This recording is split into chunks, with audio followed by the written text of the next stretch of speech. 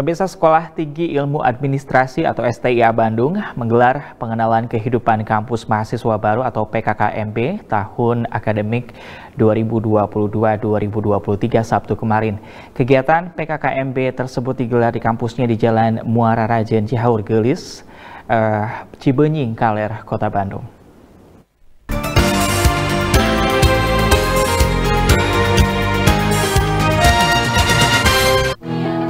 STIA Bandung menggelar PKKMB tahun akademik 2022-2023 di kampusnya di Jalan Muara Rajen Cihaur Gelis Cibenying Kaler Kota Bandung pada Sabtu 24 September 2022. Kegiatan PKKMB tahun ini mengusung tema kolaborasi untuk keunggulan dan kemandirian Just Be Yourself.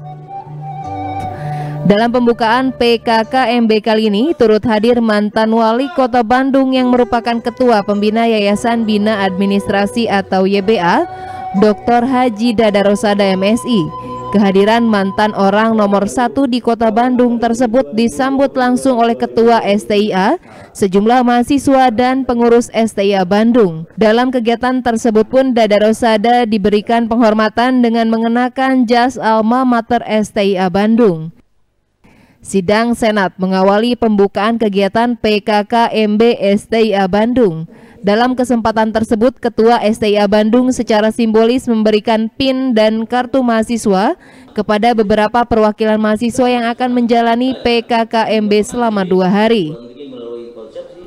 Menanggapi rencana peralihan dari sekolah tinggi ke universitas, Ketua Pembina YBA Dr. Haji Dadarosada MSI mengatakan, semua sudah dipersiapkan dengan baik mulai dari administrasi, bangunan, SDM hingga perizinan. Oleh Pak Ketua STIA bahwa ini uh, kita kembangkan memang berbagai mana jurusan-jurusan yang kita sudah kita punya kita kembangkan gitu kan.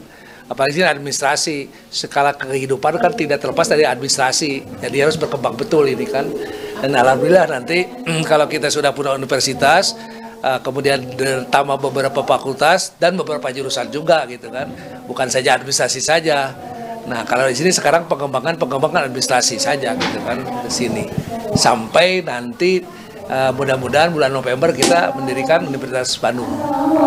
Padahal menangkap makanya uh, bulan November kita akan resmikan itu sudah selesai sudah yeah. sudah apa sudah sudah siap. Sementara itu Ketua STIA Bandung Dr. Haji Barkah Rosadi MMKes mengatakan STIA yang akan berubah menjadi Bandung University. Ke depannya akan memiliki dua fakultas, yakni Fakultas Administrasi dan Bisnis serta Fakultas Kesehatan. Program penyatuan perguruan tinggi itu adalah program pemerintah atau program akselerasi jika dalam satu yayasan memiliki beberapa perguruan tinggi. Perintah ya, jadi namanya program akselerasi jadi satu yayasan yang punya beberapa perguruan tinggi disatukan gitu ya. Nah, kita nanti mempunyai dua fakultas yaitu fakultas apa namanya eh, administrasi dan bisnis dan fakultas kesehatan yang jadi berdua itu ya. Itu namanya di atasnya adalah Bandung University. Gitu. Ini Pak, program pemerintah. Gitu. Dalam implementasi MBKM sendiri di STIA ini sekarang bagaimana implementasinya Pak? Sekarang kan mulai September ini menjadi gencaran pemerintah untuk implementasi MBKM di perguruan tinggi Pak? Kita sudah berjalan Pak. Kita sudah berjalan dengan perguruan-perguruan tinggi yang lain dan alhamdulillah kurang lebih sudah hampir hampir 14 lebih ya kita uh, apa merger dengan apa uh, perguruan tinggi yang lain ya.